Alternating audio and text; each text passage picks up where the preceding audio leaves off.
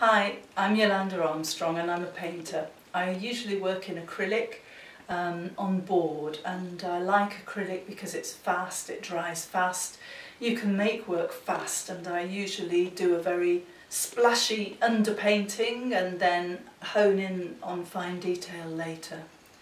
My work does keep a roughness though. I'm a figurative painter because I'm interested in human beings and I'm interested in questions of identity uh, the roughness in my work is um, sort of maybe subverts realism and opens up more possibilities.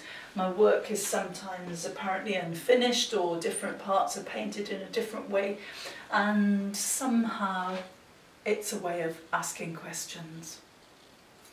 I've been working for quite a long time on the theme of beasts and what is a beast asking? What is a beast? As humans we are beasts, but we can be more beastly than any other creatures. We can be more cruel. We can also be more creative and, and wonderful.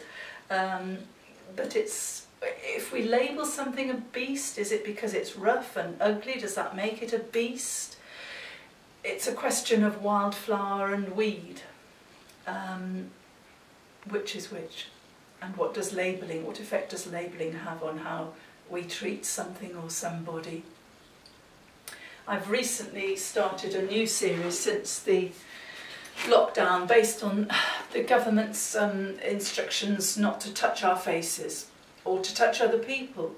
And um, this is one that might be finished. It's uh, called Dirty Girls and it's about the sort of um, danger, the scariness of making contact with other people we need that as human beings. Babies don't thrive if they don't get touched and hugged.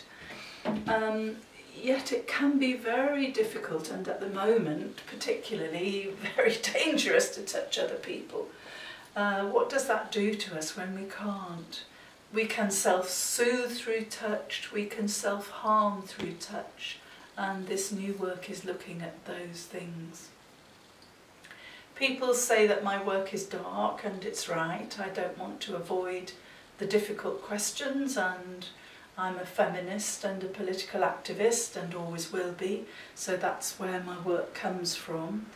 But I also want to make work which has beauty and suggests the beauty of our world, our uh, natural world and our human world, and work which offers redemptive possibilities.